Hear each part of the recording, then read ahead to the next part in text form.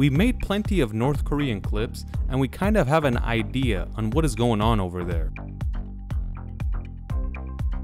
But in this clip, we want to introduce you to another country, a country known as North Korea 2.0, Turkmenistan.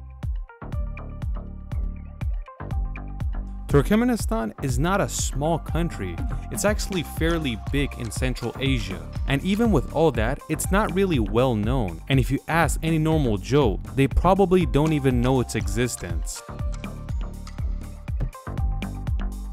The capital of Turkmenistan is Ashgabat, which is literally on the border of Iran. The biggest border this country shares with is Iran and Uzbekistan, and on the other side, it has a border with Afghanistan and Kazakhstan. You might think that the Caspian side of this country is like Iran where it's jungle, but it's not like that. The eastern part of the Caspian is actually a desert, and most of the country is actually a desert, and in the middle of it, it's the biggest desert, called the Karakum Desert.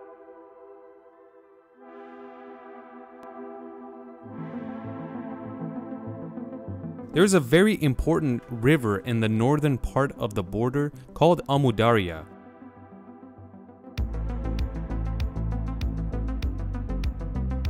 Turkmens have been living here for a long time, but the name of this country actually came about when the Soviet Union was formed. This section was taken by the Tsar Russian and it was eventually part of the Soviet Union.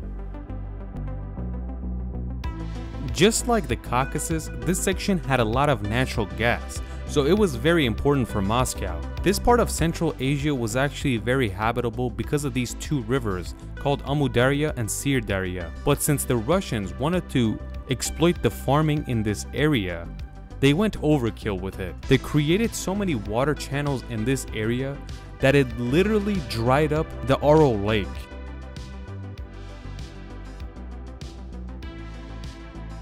We have plenty of lakes around the world that dry up, but not like the Aral Lake. Like in Iran, we have the Urumia Lake, which is drying up as well. And they do this to get more water out of them, but it backfires and destroys the lake itself. When Turkmenistan was finally independent after 1991 when the Soviet Union collapsed, they announced that we don't have anything against any country and we want to work with everybody. And anybody that wants natural gas, they could buy it from us.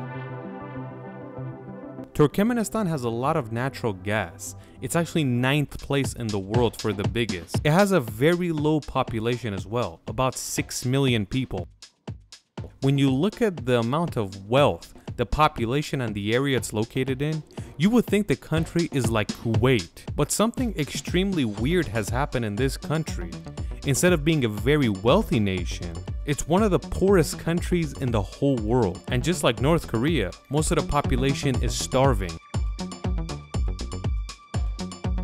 The second president of Turkmenistan, which is the current one, named Gurbanguly Berdimuhamedov, is kind of a dictator because he has been the president since 2006 after the first president died. The name of the first president was Saparmurat Niyazov, and he also gave himself a nickname called Turkmenbashi, which basically means the leader of the Turkmens. Turkmenbashi is obviously the dictator of Turkmenistan, and not only in the state's capital, he has a big statue of himself made of gold. He also has a statue of his dog, which is pretty close to his own statue in the capital. In the year 1999, Turkmenbashi orders watches for the entire population. But it's not actually a nice watch. It looks like this. It has the flag of Turkmenistan and the face of himself on there. When Niyazov was the president of Turkmenistan, Westerners would call this nation a fascist state that separated from communist Soviet Union. Just like Kim Jong-il, then later on Kim Jong-un, Turkmenbashi fed a lot of lies to his people while he was around. Lies that were pretty funny if you think about it. Like he would say, we've been here for 5,000 years, and this is the first time that we have Turkmenistan as a country. And what he means is that before him, there was no Turkmenistan. And he is right about that. Everywhere you go in Turkmenistan, you'll see a huge portrait of the president. When you go get your driver's license in Turkmenistan, there are some questions in the writing test that is dedicated to the Turkmenbashi himself, and you have to answer those correctly for you to get your driver's license. When Turkmenbashi becomes the leader of Turkmenistan, he changes the name of the months. Like January is changed to Turkmenbashi, which is the leader of the Turkmen himself. February turns into Baydak, which is the name of the Turkmenistan flag. March is Nowruz, Persian New Year, which a lot of people in the Middle East and Central Asia celebrate. April is changed to Qurban Sultan, which is Niyazov's mother's name. Either way, he changes the name for every month. Let's go back in time to see how Turkmenbashi grew into power in this area of the world. Niyazov was always part of the Communist Party of the Soviet Union in Turkmenistan before it collapsed. You could say he was a very powerful man during Soviet era because he had control over the natural gas in this part of the state. When the Soviet Union collapsed and 15 republics dissolved from it, Turkmenistan is one of them. But who's the most powerful man in that area of the world? Someone that has natural gas in their hands. The countries bordering Turkmenistan, except Iran, none of them have a good amount of natural gas. Niyazov closes the borders of this country, oppresses its people, doesn't allow any country to invest in it. And natural gas, which is the only income for this country, is monopolized and it's all in his hands. The people of Turkmenistan cannot say anything. Everything is in the government's hand. Radio, television, jobs, nothing is private. After North Korea, the worst internet in the world belongs to Turkmenistan. Obviously, the whole country doesn't have access to the internet, but a small amount of people in the capital of Ashgabat have access with a lot of filters added on. When you look at the street of Ashgabat, you're reminded of Pyongyang, North Korea. Very wide streets, but nobody's there. Maybe every 5 or 10 minutes a car passes by.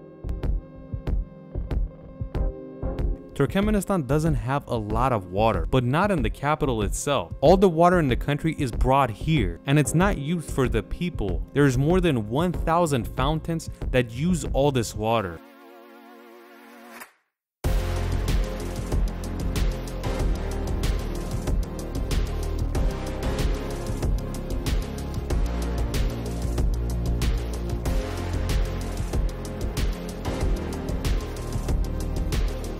A lot of weird things are illegal in Turkmenistan, like you're not allowed to play video games whatsoever. Makeup itself is illegal, and if you're caught with it, you can go to jail. You can have long hair or long beard. This law is only for men, obviously.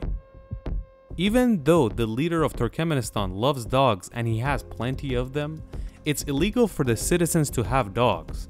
And his excuse is that the people don't know how to take care of the dog and they smell bad. So it's better if we make it illegal and I can only be the one that has it. Another interesting thing that Niyazov did is that he got rid of the Cyrillic alphabet and replaced it with the old school Farsi and Arabic alphabet, something that no country in Central Asia has been able to do after dissolving from the Soviet Union. One of the worst things that the leader of this country has done is that the schools are all regulated and they only teach the things the government wants them to teach. And you could say the people are taught things that don't matter so they don't know what is going on in the world. That's one of the many reasons that they could easily control the people of the country because they don't understand what is happening outside the borders. When the leader of Turkmenistan, the new one or the old one, gives a speech for its people, it's actually very interesting to watch. They always tell the people, you live in the greatest country in the entire world, the most advanced country, and nobody can match the technology that we have here today. Of course, the people might believe it because they don't know what's going on outside the country. Talking smack about the government, someone that works in government, or anyone that's an employee of any form of government will go to jail because this country has the most amount of people in jail after the US per capita. When you talk smack, they could give you the label of a terrorist or a spy because you're talking smack about the government and that means you're against the regime. And of course, it's not clear when this person will get out of jail. More than 90% of this country is Muslim. But the funniest part is that Niyazov or Turkmenbashi has announced to his people that he's the new prophet of Islam. And he also tells his people that you have to read the new Quran called the Ruhnama and it has a photo of himself on there. Anybody that asks why we have to read this over the Quran will be executed. We don't know if we should laugh or cry because it seems like 6 million people are taken prisoner or hostage in the country of Turkmenistan and they have no way of getting out. They're not really allowed to leave either to see what is going on and experience outside. After Niyazov died, the new president has went with the new laws that was put in place and he hasn't changed a thing. 17 years has passed and nothing has changed. Not only is Turkmenistan being ruled like the former Soviet Union, but it's being led like Stalin, which is called Neo-Stalinism, a regime that resembles what Stalin did when he was the leader. Since it's still considered a communist nation, the people do get a paycheck, and the average paycheck is about $16 per month. What if you want to go visit Turkmenistan? First of all, you have to get a visa. You might ask how? Because it's kind of different than any other country. They'll give you a visa. You're only allowed to go to the capital city of Ashgabat. And of course, they're gonna watch you to see how you act. And it's interesting because it's harder to go to Turkmenistan than North Korea. You're also not allowed to communicate with the locals because you might tell them that the Quran you guys are reading is actually the wrong one and they don't want that. If a tourist doesn't follow the rules here, it's no longer gonna be a three day vacation. It might turn into a 30 year vacation, depending on how long they want to keep you there in prison.